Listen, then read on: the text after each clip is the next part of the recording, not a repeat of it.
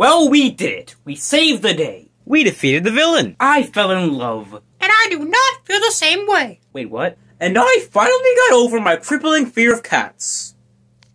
Oh my god! And to think, we did all that in the span of an hour and 20 minutes. Okay, well, what do we do now? Are there any more plot lines to wrap up? Nope.